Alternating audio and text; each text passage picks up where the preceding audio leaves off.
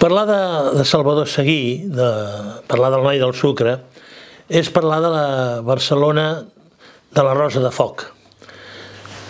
Eh, entre les acaballes de la Primera Guerra Mundial, el 1917, i la dictadura de Primo de Rivera, el 1923, es va produir a Europa, però especialment a Espanya, un enfrontament molt violent de classes socials. És un sexeni pràcticament eh, revolucionari. Un sexeni en el qual eh, la revolució russa projecta sobre la història d'aquells anys un, un exemple que agafa la burgesia amb un enorme terror i, i amb un gran pànic. No? La burgesia tem que l'exemple de la revolució russa s'escampi per, per Europa. A Espanya això coincideix amb una crisi econòmica a les acaballes de la Primera Guerra Mundial que, contràriament a que ha sigut el desenvolupament de la Primera Guerra Mundial, ha entrat en crisi econòmica perquè la primera part havia guanyat molts diners amb la guerra. Però ara ja Europa es, es comença a refer i la situació de la indústria a Espanya i a Catalunya especialment, que és la zona més industrial d'Espanya, eh, té unes connotacions d'enfrontament social molt fortes. La resposta a les vagues, als moviments sindicals que estan proliferant i creixent molt en aquesta època per part de la burgesia i també per part de l'Estat és, és la repressió, és l'aposta per una via militar. Aquesta via militar es concreta a Barcelona amb el nomenament del governador mi militar, el general Martínez Danido. El governador civil és, Martínez Danido, un general de, que, amb molta mala fama que tornarem a veure a la Guerra Civil, quan formarà part del primer govern de, del, del general Franco. El Martínez Danido eh, arriba a fer-se amb el càrrec a Barcelona amb la idea d'aturar la revolta social que hi ha en aquells moments eh, a la capital catalana.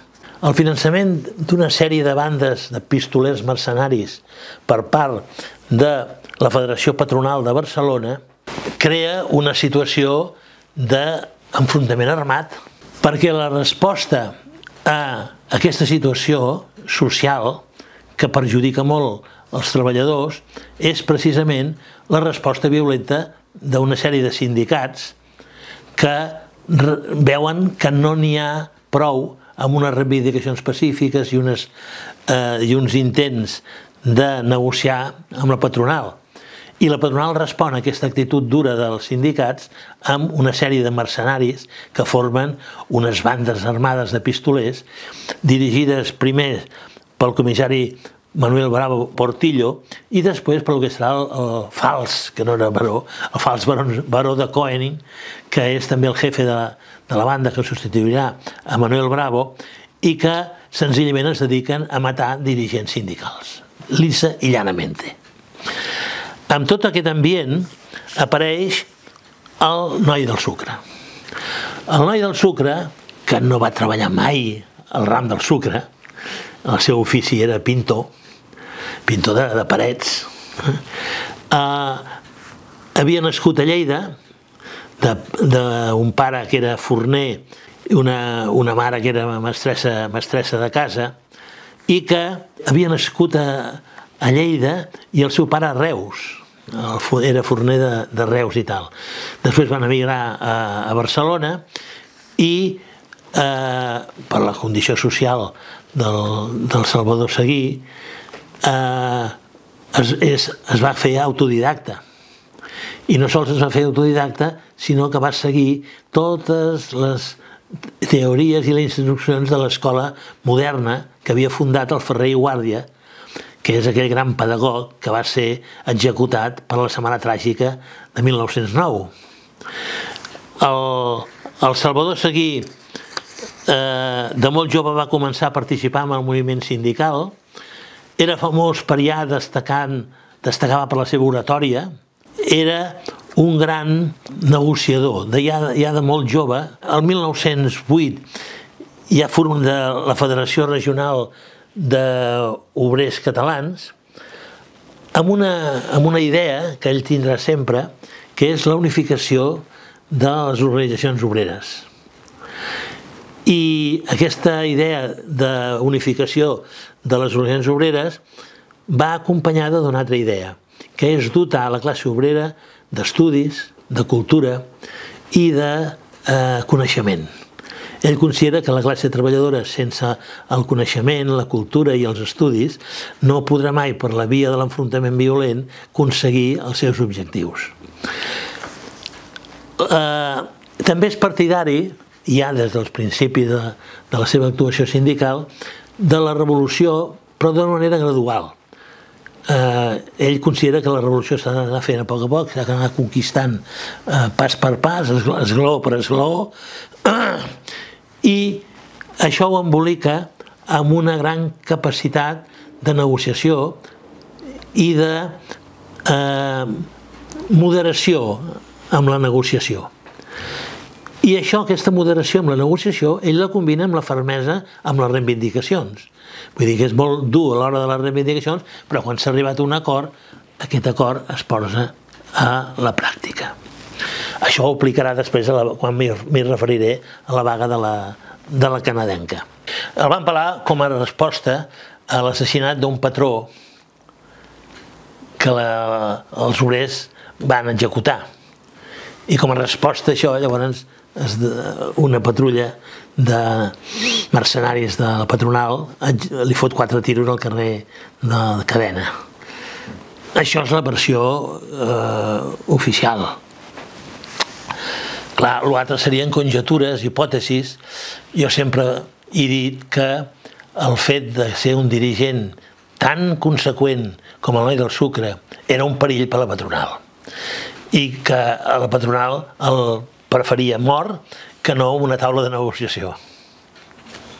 Això és la meva opinió, que no té cap més valor que la meva opinió. Eh, alguns sectors de la, de la CNT, davant de tota aquesta situació d'enfrontament social, eh, van constatar que la via de la reivindicació política col·lectiva no és prou efectiva i van optar per l'acció individual contra els patrons. Clar, eh, això significava ja l'enfrontament armat, els dos bandos, les armes i la rosa de foc. Cre crema Barcelona amb una sèrie de conflictes i assassinats que enterboleixen tota aquesta eh, situació d'aquests anys i que seran una de les bases amb les quals s'agafarà Primo de Rivera, recolzat per la burgesia catalana, no ho oblidem, per fer el cop d'estat de 1923. Un dels arguments que la burgesia catalana dona per apoyar el Primo de Rivera amb el seu cop d'estat és precisament que aquella situació no es pot aguantar, que els estan també matant, igual que ells maten el... És una guerra, és una guerra social, una guerra de classes socials la que hi ha aquí. I aquesta és una de les excuses amb les quals Primo de Rivera farà el cop d'estat a 1923. Per tant, podríem dir que el pistolerisme de, de, Barcelona agafa aquests anys entre el 1917 a 1923 perquè en Primo de Rivera realment amb una repressió brutal acabarà amb el que seria aquesta situació d'enfrontament de bandes armades, patronal, eh, sindicats. Hi ha un moment en què la burgesia d'aquí es veu eh, amenaçada pel desenvolupament d'un moviment obrer que va lligat al desenvolupament de les fàbriques, clar. I aquest moviment obrer, que lluita per les millores de les condicions de vida, és a, a, a, finals del segle XIX. El 1920 i tal ja tenim unes condicions molt diferents del, mil, del 1880, no?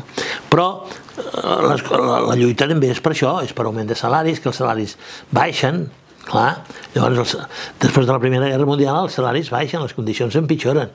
I llavors la reacció dels treballadors és precisament, eh, eh, forma part de, de tot això. Clar, eh, la idea que presideix els moviments obrers d'aquesta època, majoritària, és l'anarcosindicalisme.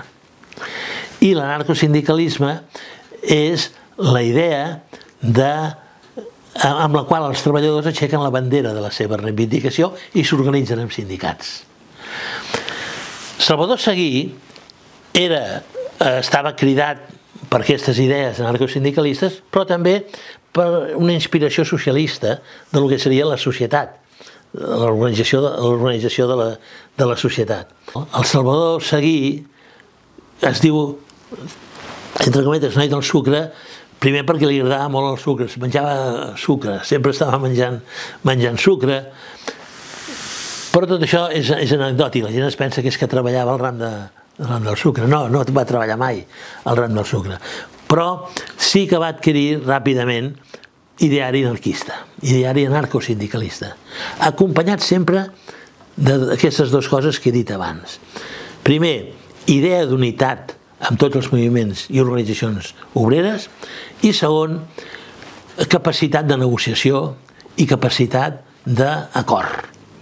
I, I això el feia un dirigent molt eh, important pels treballadors i un dirigent molt incòmode també per la, per la patronal. Per la patronal.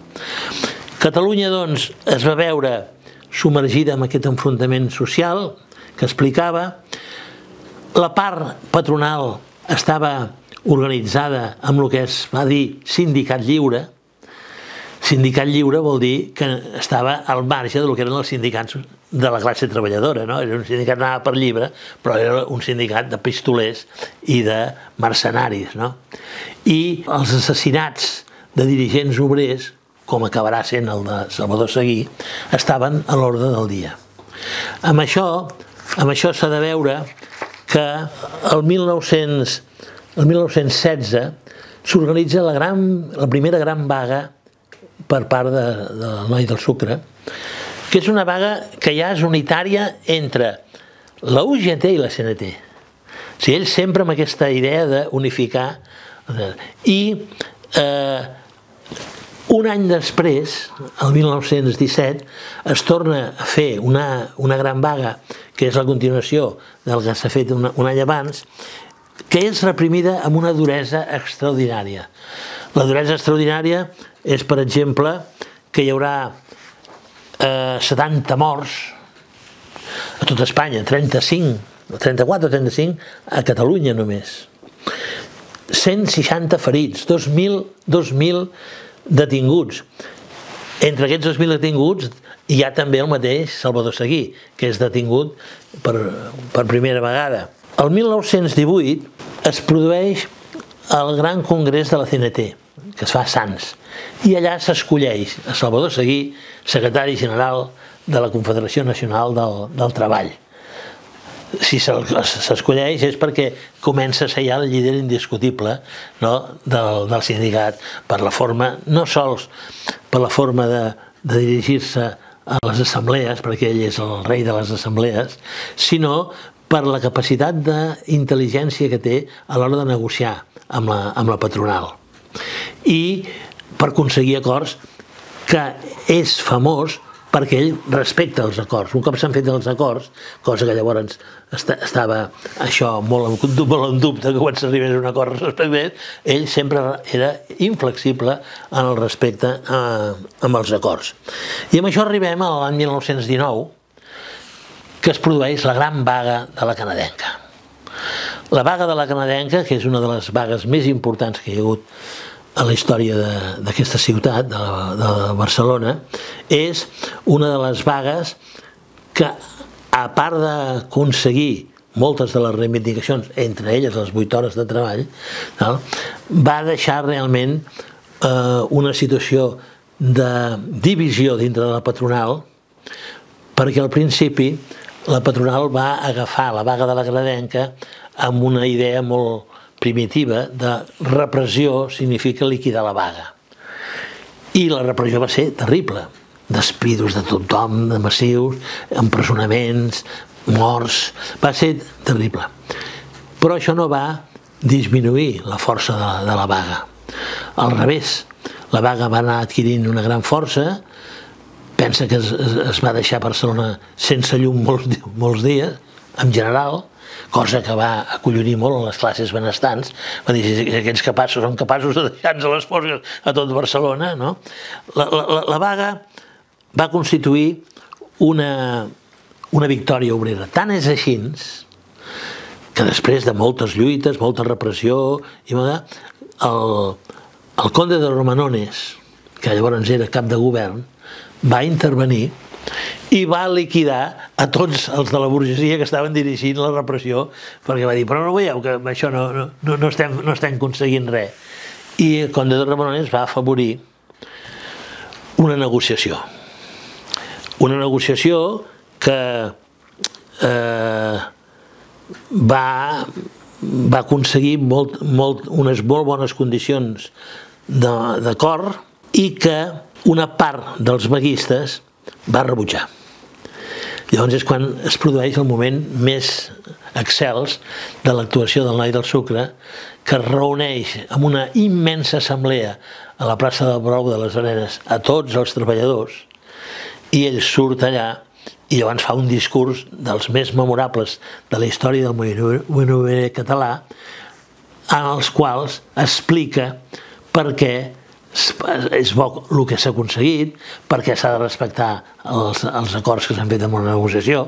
Total, que acaba amb tota la plaça aplaudint el noi del sucre i convertint-lo en un dirigent que ja ho era, però allà passa ja a ser el gran dirigent del, del, de la història del moviment, moviment obrer a Catalunya i tal. Això era el 1919. Uh, eh, a partir d'aquí, uh, el noi del sucre que eh, ja és un dirigent indiscutible, és molt amic del president Companys, amb el qual ha compartit presó a Maó, és molt amic de Francesc Leiret, que també serà assassinat per la patronal, i eh, amb això arribem a 1923, quan al carrer de la, de la cadena, a Barcelona, quatre pistoleros li foten una ràfaga de tiros i el maten. Clar, l'assassinat es va saber perfectament qui havien, qui havien estat a través d'agafar el propietari del cotxe que van utilitzar per anar-lo a i tal, però va quedar com a resposta a l'assassinat d'un patró que havia fet la, la CNT. Eh, això és la versió oficial. Després va, la qüestió és que aquests van ser detinguts, van sortir de la presó al cap d'un temps determinat, no, no, no, no, no va eh, anar a parar ningú eh, a unes llargues condenes, eh, no està ben clar que exactament que aquests fossin, sí, els assassins, però no els responsables que és molt diferent, com tu saps, ser l'assassí que ser el responsable. I la hipòtesi, en aquest cas molt personal meva, és de que convenia molt a la patronal la desaparició de Salvador Seguí. Perquè Salvador Seguí era un dirigent molt responsable, dur, valent, amb una gran oratòria, capacitat de lideratge i, sobretot, capacitat política de tirar endavant una perspectiva de la negociació i de l'acord. I això eh, als treballadors els anava molt bé i a la patronal jo crec que no els anava gaire bé. Desapareixent Salvador Seguí, desapareixia un enemic realment perillós per les negociacions des de la patronal.